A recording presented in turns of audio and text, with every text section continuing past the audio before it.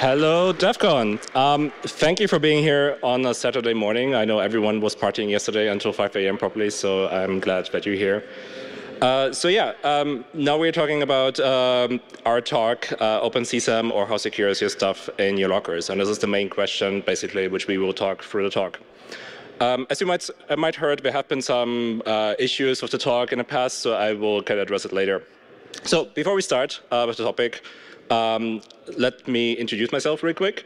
So um, I'm Dennis. I'm a security researcher or also a hardware hacker. Um, and I basically am interested in wireless and embedded security and privacy. So I take a look at all kind of interesting devices which are around me. Um, primarily, this is uh, vacuum robots, uh, but I generally like look at all kind of things. Um, that's why I call myself also a vacuum robot and IoT collector. So I have probably way over 600, 700 devices and you know 60 or 70 vacuum robots by now. So um, my main goal typically is to root vacuum robots, but you know, I, again, I look at all the other things. And if you're interested in vacuum robots, by the way, I have a website where which documents all the um, you know hardware and everything. Uh, yeah, one thing which is kind of new in the slides. Um, so um, I have been a target of a cease and desist at DEF CON, so I think this is like a you know. Uh, interesting thing, uh, which by the way was withdrawn as uh, today in the morning or at night. So uh, yeah. And now uh, we would like to introduce Braylon. Cool. Hi, I'm Braylon. I hack things for the Leviathan Security Group during the day, but I'm here representing myself as an independent security researcher, and this talk does not reflect their views. Uh, my general focus has been application security and APIs, but I've started hardware hacking for fun um, looking at things like robots, cameras, and smart locks. And this is my first DEF CON talk, and I was also named in the cease and desist, so that's pretty fun.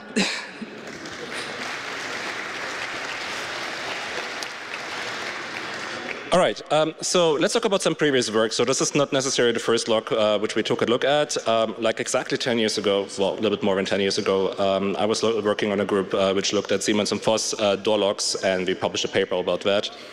Um, also, some while ago, um, I was taking a look at Schlage electronic locks, which you find especially in America, like you know, in you know, government buildings, universities. So, um, what are the goals of this talk? Well, First, we want to give you some overview of the reverse engineering of Digilog and SIG logs. Um, we want to tell you something about vulnerabilities, and uh, we want to um, show you some ideas and methods how you can extract typically firmware and configurations from that kind of devices. Um, one thing which is the most important part of this talk is basically we want to raise awareness about PIN numbers. As a general side note, uh, we use Digilog and SIG as examples, and we are not claiming that they're more or less secure than other companies. We're kind of just unlucky that they're one of the market leaders and that they build good products. Um, so yeah, so we basically have chosen them because we have a good reputation, we have a quali quality of products, we just might have made some mistakes. Um, we reported the things also to the vendors, and Digilog is actively working on, uh, on fixing the issues, and I will tell, give you some information later on that. So about the Stark. Um, it's basically a continuation of uh, my Nullcon talk at um, um, Berlin uh, 24. Um, we focus, and this is the important part, on offline logs which are managed. So if there's like a master key or something, if you think of a gym or you know master key systems. Um, and we do not cover a couple things. For example, we do not cover management software. Um, we do not cover reprovisioning, so how to you know factory reset the log. Um, we also don't talk about physical attacks using magnets um, or destructive attacks like drilling, you know, decapping, all other kinds of things. Um, and later on, um, we have uh, included a statement of Digilog in regard to their cease and desist. All right, so what is our uh, motivation here? So generally, um, back then when I was, uh, uh, you know, looking at logs, I realized quite quickly that hacking logs is not that uh, you know new. Um, there's a lot of people uh, who were hacking like uh, high security logs, so a lot of researchers were kind of focusing on that, especially like safe logs, because there's probably very important stuff in there. Um, a lot of research has been put into side channel attacks. Um, you know, safes contain expensive things, uh, and the impact is like very high if they're insecure. Uh, the general problem is for you know manufacturers or for even companies who have this kind of devices, it's very hard to defend against physical attacks and highly motivated uh, attackers. So if as an attacker, if I have unlimited time and money, then I will get into whatever it is. Um, in regard to consumer devices, it's slightly different. So consumer locks, safes, and cabinets are known to be bad. Um, and there's mechanical flaws, there's trivial bypasses, you know, using magnets and other things, uh, and there's insecure software. Um, and I have an example here uh, from one of my favorite YouTubers, a lockpicking lawyer, where he has like a you know gun safe kind of thing where you put the gun in, and you just pry open uh, the um, plastic handle, and you can just pull the gun out. You don't care about the lock. So um, you know, sometimes you don't need to even attack locks. Uh, you know, there's other ways around that. Okay, so um, how did we start with this uh, particular research? So I was at Northeastern University like around 2018, and they introduced uh, lockers in the labs. And one of the idea was like, you know, you can put your stuff in uh, and you just choose your own pin, lock it, and you know, if you come back, you unlock it again, and the next one can use it. Um, but also when we were traveling around, we saw like these locks in many, many co-working spaces, banks, airports, hotels, gyms. So we were literally everywhere. Uh, at some point, you develop an eye for like interesting things around you. Um, and one thing which, which uh, we, we, figured out very quickly is there's only a few widely used vendors which are out there. So there's like, you know, the groups like in, in US in particular, like Digilock, or like there's in, uh, in Europe, SAG, there's some very limited kind of vendors out there. And these kind of locks, they stay for a very, very long time in use because why would you change gym lock like, you know, after five years or after four years or whatever. So these things typically stay in use like for 10 years, 20 years until they're broken basically. Okay, the question is now, why do we hack uh, cabinet lockers or lockers generally and not safes? Well, lockers and cabinets are basically everywhere, and uh, they use in public spaces or spaces which are accessible to the public or shared workspaces. Um, and there might be many reasons why you want to hack them. For example, you forgot your PIN, you lost your key, um, or you do a red team penetration test. Um, also, you know, sometimes the audit locks are not super correct, so you want to, you know, correct them. Um, and they might contain uh, a lot of interesting stuff, and including our own. And this is like what I want to say is like, I mean, one of the reasons why we do the research is because we're kind of slightly annoyed because our stuff is also that kind of lockers. So this is one big motivation from us. So what kind of things do, might, do you might store there? Well, you might store your backpack, laptop, employee ID, phone, keys, money, uh, credit cards, USB sticks, important documents, your bitcoins, uh, or candy. So the question is, well, did you use the same PIN which you used to lock the locker also for your phone, uh, notebook, or credit card? Quick survey who has a friend that does this, who reuses their pins? no, you're not supposed to admit that. Uh, to be fair, I mean, in the beginning, before I was doing the research, I, I caught myself using the same pin all over again. So um, that, you know, it gets a little bit complicated. Anyway, so what kind of attack ideas do we have and how do we do it? Um, so what we're looking for generally in these kind of devices, well, we try to extract somehow the firmware because firmware can give us like some secret backdoors or bugs. Uh, it helps us to understand functionality, and it can allow also an attacker to create, um, you know, custom firmware. You know, like basically declouding or enshrittification of the smart locks. Um, the other thing is, which is obviously the, the crown jewels here, is the um, interesting data in terms of like key IDs, user pins, uh, RFID IDs, or log files. Um, and the other thing, if you do lockpicking, you know it, uh, you try to find like any easy way to bypass things into open locks. So um, our idea, and this is like why we want to kind of stress on that, it's not necessary but we want to steal your stuff, but uh, we don't want to steal your stuff anyway, but I mean, theoretically as attackers, but lateral movement, and that's the, the core idea of our talk. So how do we do it? Um, so we have, in this particular example, three uh, cabinets. Basically, um, one of them is open, uh, two of them are locked. One is locked with a pin, the other one is locked with an RFID. And so what we do is like we try to extract the manager key from the lo uh, locker which is open. As soon as we have the manager key, this is like a key which you use to kind of unlock the locker, to audit things in there so that there's nothing, you know, like the, Def the DEF CON hotels, like sketchy things, your flipper. Um, and you can lock it again without resetting the pin. So by having this manager key, what we can do is basically we can um, unlock other lockers um, and um, we can extract from the lockers, like with the pin, we can extract the, uh, the user pin. At the same time, we can obviously access whatever is in the locker. So if you have a laptop in there and if you have your phone in there, well, we might be able to, to use the pin which you use to lock the locker to you know, unlock that. But it gets even more interesting um, because, well, we can also extract the RFID, uh, you know, ID or secret in some cases um, from a lock which was used to lock the uh, locker with an RFID or employee badge. And then we can go to an interesting door, like a server room or something, and can use that to unlock that. Um, especially SAG, um, that they use Desfire encryption, so they store the keys, which gets very, very interesting here. All right, so how do you get that kind of locks? What, what's the logistics behind that? Um, the problem is, if you do that kind of research, you need to invest a lot of time and money.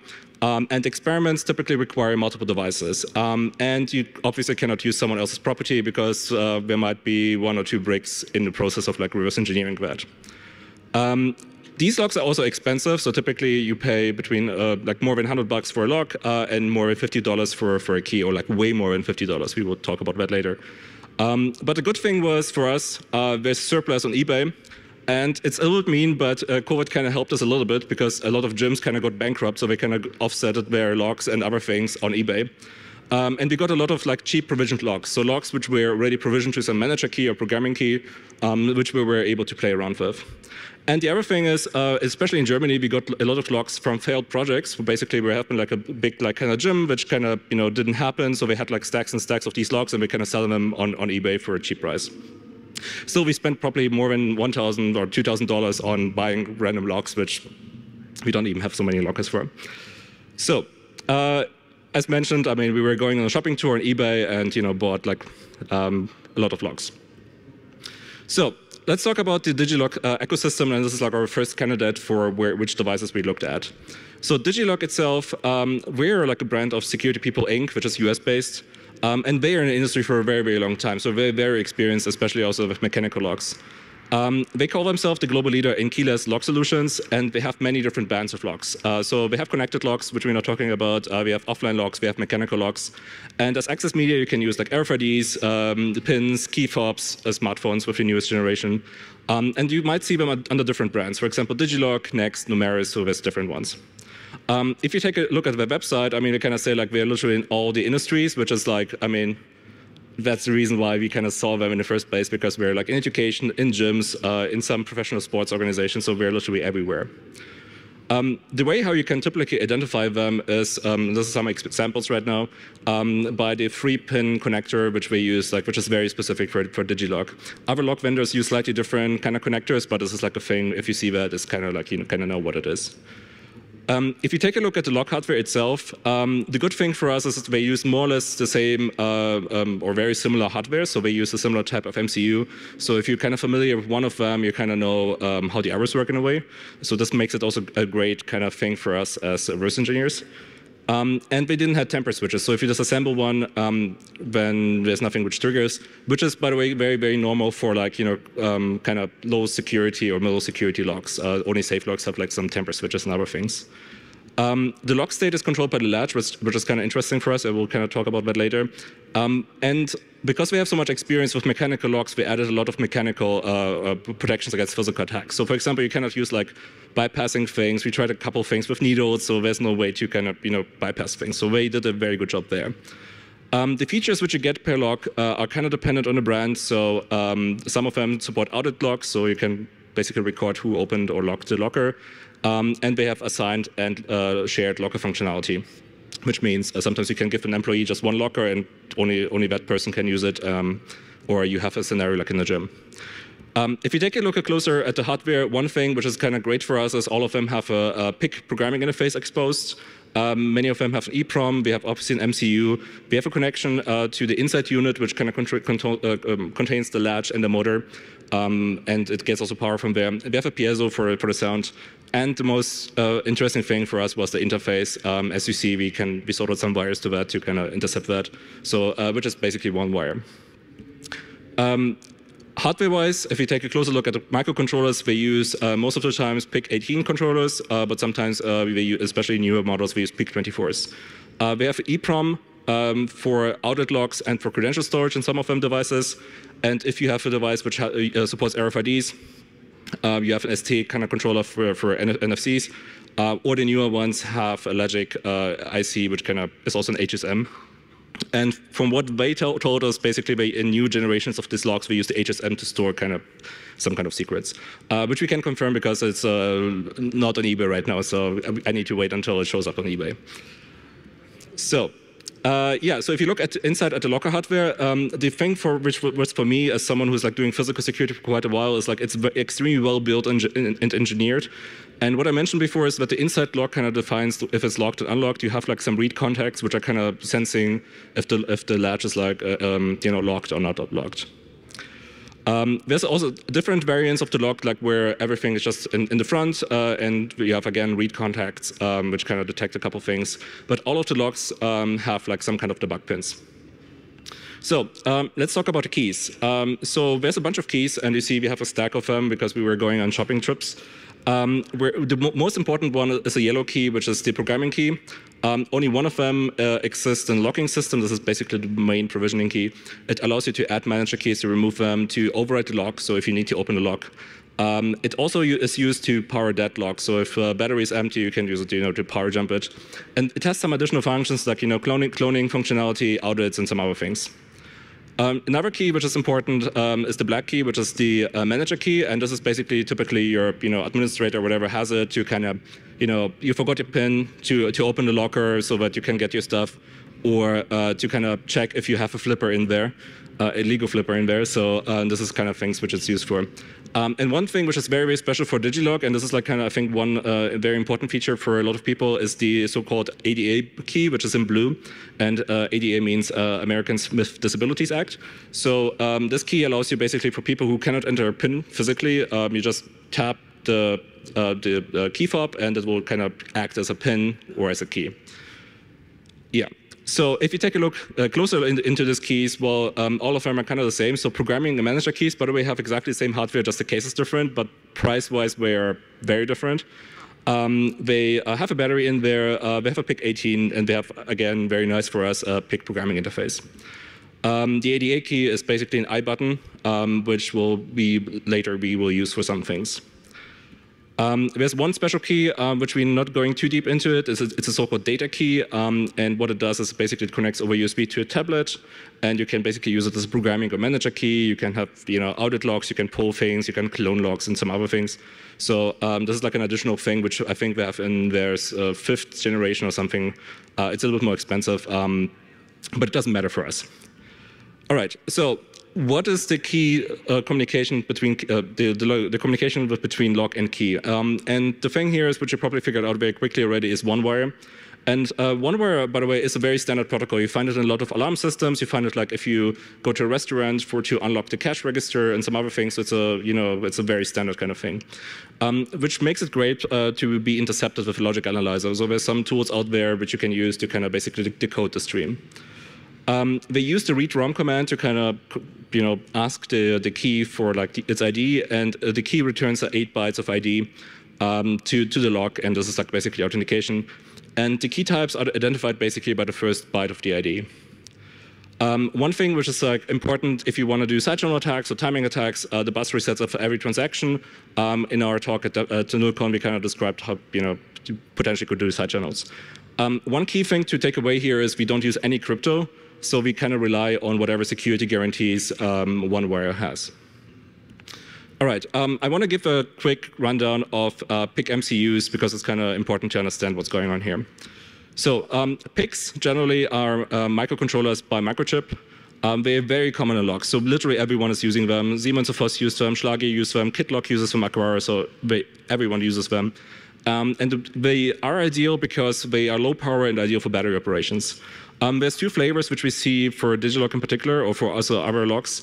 Uh, it's a PIC18, which is a 8-bit MCU, which was released back in uh, 2000, and the PIC24, which has a 16-bit MCU, um, which um, has no EEPROM data on board. So basically, you can flash the firmware onto it, but you need to store your data somewhere else. Okay, so this is an example of a random uh, PIC18. So uh, we have some SRAM, we have Flash, uh, we have uh, EEPROM as mentioned, and they have uh, support some protections. For example, you can enable code protection, you can enable write protection, and there's also like a thing which is called external block table read. Um, and on the right, you can see it's like consisting of uh, multiple blocks, um, and at the bottom is like the EEPROM part. So let's talk about the code protection. Um, speaking of which, uh, code protection is, I think, a, a very PIC-specific term. Um, if you work with other processors, you might uh, know it as readout protection. And the basic idea is we have here an example log, which is uh, uh not an example log, just an example chip, where the first two uh, blocks are protected, uh, the data is protected, and if we connect our programmer to it, what will happen is we will get, for the blocks which are protected, all zeros, um, but the blocks which are not protected, we get data back. So a write protection, similar thing. Uh, the first two blocks are protected, the last one is protected. If you try to write with our programmer something to that, um, the, the writes will fail for them, uh, but the other blocks are programmed. Speaking of security of these chips, um, these MCUs, um, they offer basically only basic protection against attacks. So there's many attacks uh, which exist for these chips, even if protections are enabled. There's uh, optical laser attacks back in 2002. There's UV erasure attacks. Uh, there's glitching. There's like overwriting of uh, you know individual blocks. So there's a lot of attacks out there. Uh, these so a lot of people kind of already you know figured out how to, to break these chips. Okay, let's talk about the attacks. So um, our naive approach was like, hey, um, what, what happens if you just connect a debugger and we do some magic with power and other things? It's not as trivial as it seems. And we tried to dump the MCU. Um, we had um, um, the luck that we exposed the data pins, uh, both for the um, locks and the keys. And one thing which we found is basically that the protection settings which we did on the locks were very inconsistent. So what do we mean with that? So typically, um, as mentioned, if uh, read-out protection is enabled, you get all back, uh, all, all, zeros back, like on the right side. Um, and um, one thing which we saw very quickly is that we didn't have the write protection enabled, which is by itself not really an issue. Um, but the bigger thing was that if you use an external EEPROM, like this external chip, that it's not encrypted, so you can dump it basically. Um, and this is basically the result which we had uh, for you know the manager keys, for the data keys, and everything. One thing which you will see is um, for uh, most uh, locks which use like uh, more modern chips, they are not protecting uh, the, the, code. Um, and all of them are not protecting the EEPROM, which is in the case of some of them doesn't matter too much, but for uh, especially the, the locks, it matters a lot. So um, what are we doing? So the, for unprotected devices, um, which don't have any code protection enabled, we can just dump the, um, uh, the code memory and the EEPROM directly. So we need a programmer, we need some other hardware, but generally, you know, if you work with embedded systems, you know how to do that. Uh, for partially protected devices, it gets a little bit more tricky. So, and this is an example for a lock which had the first three blocks protected, uh, but uh, the code was creeping into the um, uh, fourth one, which was not protected. So what we were doing is um, we can dump the, the fourth block and you can put a custom dumper into that block, which hopefully gets hit by some code or branch link, and then we can dump the, the other ones. Uh, there's some other methods out there, but because we're kind of cash strapped and don't want to spend too much time on like buying more locks of the same kind of thing and hoping that it's the same firmware, this is basically um, you know one of the things you can do. Um, otherwise, you can just access the EEPROM data directly, um, so as the same as the other ones. Um, we, we, described this attack at uh, NullCon in the talk, so if you're interested in that. Um, but it's a very generic attack. It's kind of well known for quite a while. So um, basically, the firmware extraction is, can be successful for all the locks, so we can get back the firmware. Um, you can analyze the firmware, you can modify it if you want. You can basically load it into uh, Ghidra because it has PIC support. Um, there's no real signatures integrity checks, which is kind of normal for that kind of things. Um, and the methods are well established. Um, basically, but the, the thing for us is like we don't necessarily need to even look at the firmware if you have the data, so that's just like a thing. So let's talk about the EEPROM contents because that's where the cron jewels are.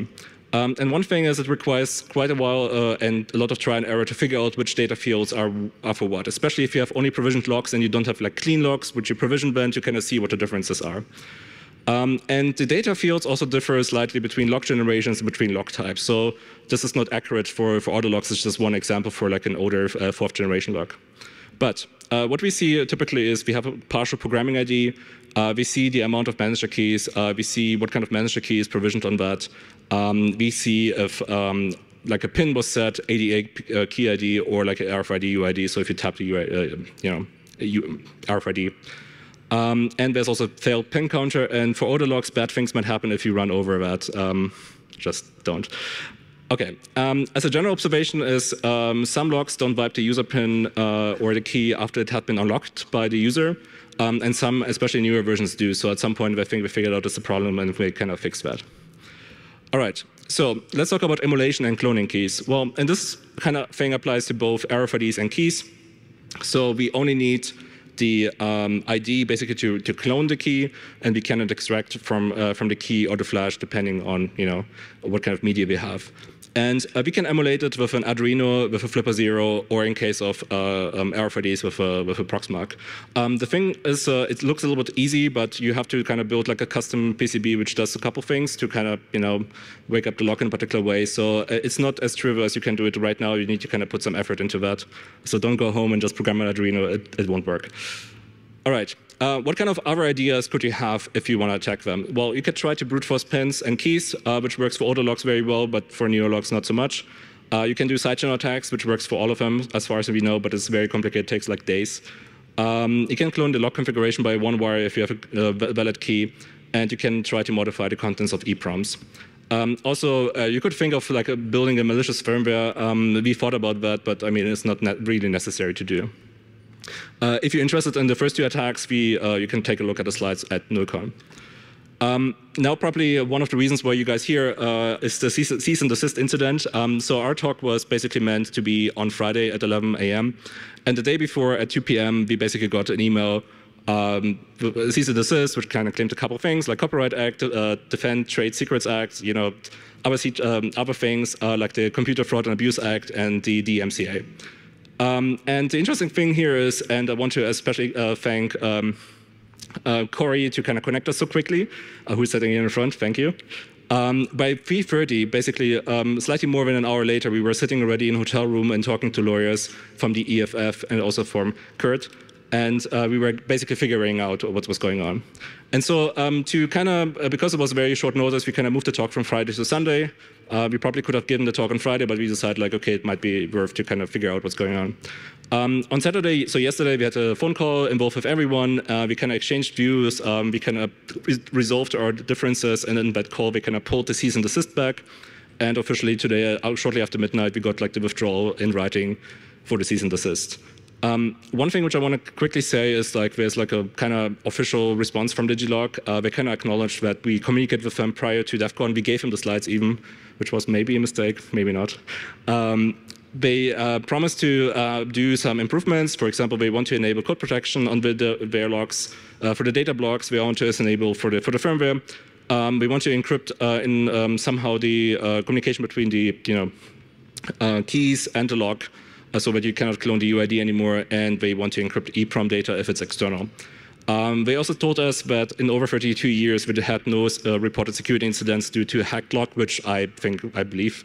Um, and they also uh, very committed to the security, uh, secure solution for their customers. Um, and I put a full statement, which they sent us uh, on slide 70. So if you look later on the slides, so you find it uh, in the back. All right, uh, that's all for Digilog. let's move on with the next company and Braylon. Cool. So let's shift gears and talk about a couple of other brands that we took a look at um, as far as locker locks go. The first one being Schulte Schlagbaum AG. So this is a German company. They've been in business since 1833, so quite an old company. Uh, these are more widely used in Europe and Germany. They produce both mechanic and electronic locker locks. We took a look at the brand called Safetronic. They also produce door locks, but uh, we didn't take a look at those. We think they might be on the same platform, but we're not entirely sure. So the electronic locks accept both PIN and RFIDs, or RFID plus PINs as access mediums, and they do provide audit log support. So let's talk about the LS series of locks. These are based on the STM32 MCU, and they also have SPI EEPROM. As for security, we found that SWD and debugging was not disabled, and their EEPROM is not encrypted. And we noticed a lack of physical tamper switches in the locks. So as you can see, uh, these are PCBs for three different locks. We think that they tried to save money by using the same design for nearly a decade.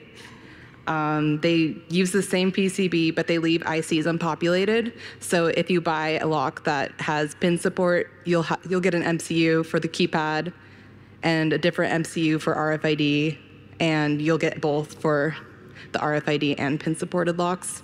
Uh, we also noted a difference in uh, SPI EEPROM sizes. Okay, so let's talk about the management keys for uh, some of the RFID SAG locks. So their RFID locks support MyFair Classic, MyFair DeskFire, and some ISO compatible tags. For the higher end locks, there are special RFID keys that are required for programming. There's some master key one and two. Those are used for unlocking and relocking lockers. There's also a data RFID tag for data transport uh, if you need to like pull audit logs off of certain locks. There's also like a physical communicator device, which is like an advanced handheld programmer, but we didn't take a look at that. We tried to procure a set of these um, programming keys, but they were $1,400 for eight MIFARE Classic tags. So we didn't think it was worth the money, so we didn't take a look at those. So just a quick overview on how we dumped EEPROM contents, just using an SOIC clip. Uh, we were able to interface with the EEPROM and dump the context, as you can see in the hex file.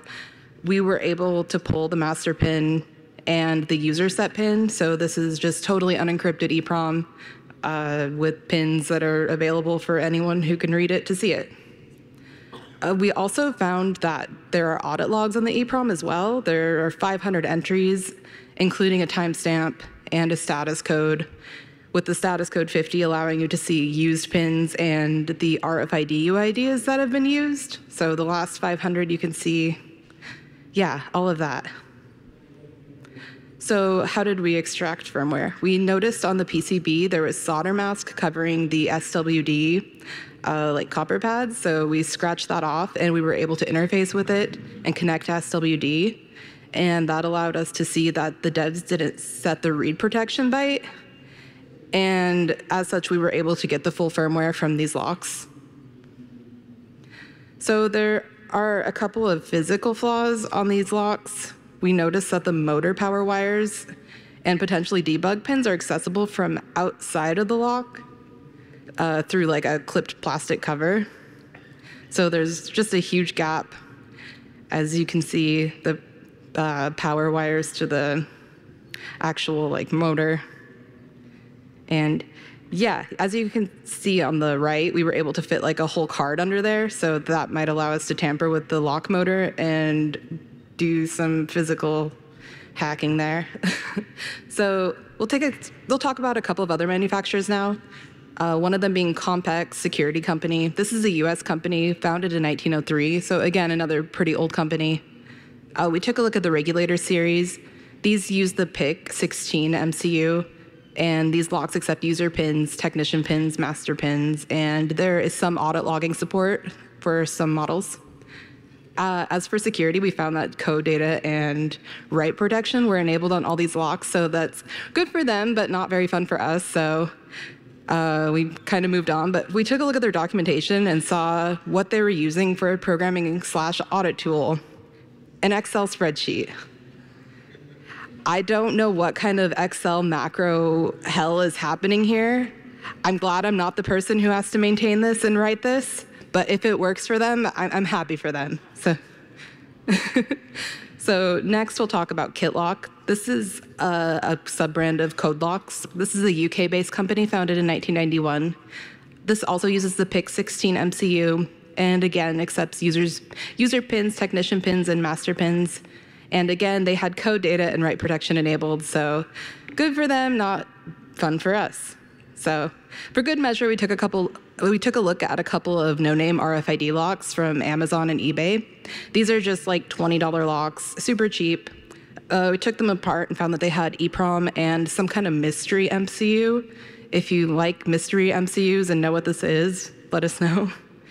Uh, obviously, there's you can't really have many expectations of security on these cheap devices, so there's no encryption, no protection, and plain text RFID UIDs are just there for anyone to read it. Okay, so we're going to do a quick demo now to show how you can hack some of these locks. All right. Uh, due to the cease and desist, we will change the demo slightly. So usually we, we were kind of thinking of doing like a whole rundown how we can extract manager keys and other things. Um, what I would do instead is like uh, I would showcase our custom PCB, which we built ourselves and took us like some time to develop it. Um, what it basically does is it emulates the same function as a manager key. Uh, so I will just show you. Uh, so I locked all the lockers from Digilock in this case, and I will just kind of show how I can hopefully open them again. Um, yeah. Okay, just like a quick example of, of, a theoretical scenario. So we're going to assume that the attacker has access to any open locker or cabinet uh, with the tools, the, the microchip uh, PICkit 3 debugger, a Phillips screwdriver, and an Arduino and or flipper. We're using the flipper here. So our criminal has already uh, uh set the the key onto the flipper and we are able to access the locks. yeah, so um, to be fair, we put a lot of effort into like figuring it out already. So this is like basically if you you know got got access to a lock, you somehow extracted that, you built kind of that kind of tool. Uh, there's a magic backset which we don't show. Um, so um, there's it, it, the attack will work uh, very quickly after that. Now the obvious thing is if you want to extract secrets from from these locks, you need to kind of disassemble them. So you need a screwdriver. Uh, the locks which are kind of just having the front part are super annoying because you need like a very special key to kind of unscrew them. Uh, but generally, like to open and relock them again without resetting the original pin, uh, that's basically all you need. Um, but this might take you some time to do. Uh, all right, that's for that. Uh, let's go to the conclusion. Okay, in summary, we were able to extract firmware and keys from these brands of locks. Uh, so access to one lock can give you access to all locks in one system or one location cloning and emulating keys is possible.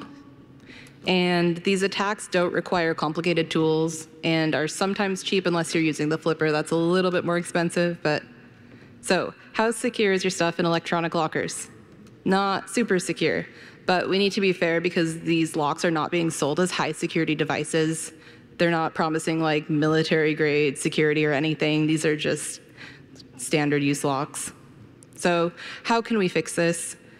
Of course, we would recommend a security by design approach from the beginning. So enable all security features and always expect physical attacks when you're producing locks. Uh, encrypt your secrets, store them in a secure way. So the best solution for vulnerable locks would be to have firmware updates for all of them, but depending on the age of the locks, this might not be possible, and it's we, in our opinion, it, it seems unfixable.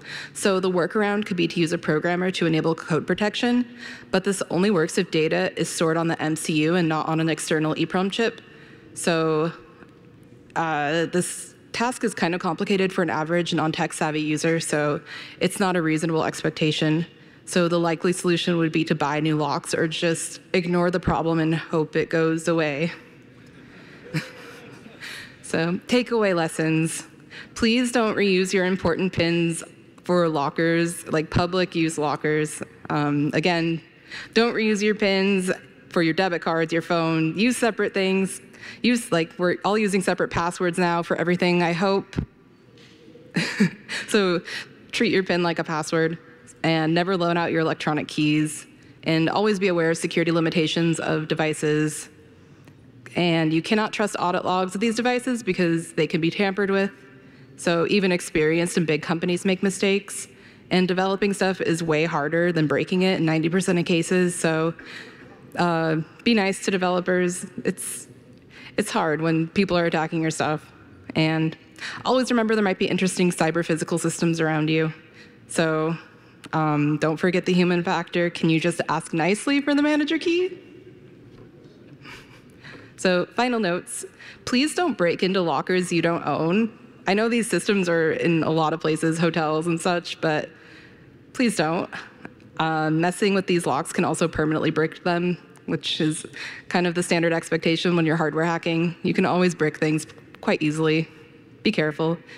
Uh, there are more, more attacks that we haven't covered here, and other companies and products are possibly vulnerable too. And just because they claim that they've never been hacked doesn't mean they're unhackable, of course. And yeah, thanks all. Well, um, So I would like to also uh, give special thanks to Corey, who kind of connected us with the, the lawyers, to Tara, who did that too, uh, to our counsel, uh, Hannah and uh, Kurt, and to Andrew uh, and everyone at EFF. And this kind of um, gave me, like, again, like a motivation to definitely donate a lot of money to the EFF. Um, one maybe a side story is that uh, braelynn was at B-Sides uh, before this event and uh, was uh, getting a membership for EFF and was kind of joking like, oh, we might need you tomorrow. And lo and behold, literally one day after that, on her birthday of all the facts, uh, she got a, uh, we, both of us got a cease and desist letter. So uh, if you have questions, uh, we might be still around here. Uh, otherwise, uh, feel free to contact us. Um, yeah, and thank you very much for being here. Um, right, so yeah, if you also read, want to read the statement, it will be in the slides. Um, and I hope we will find a solution also like to kind of fix the older logs. So there's probably a way um, we will figure it out together. Thank you.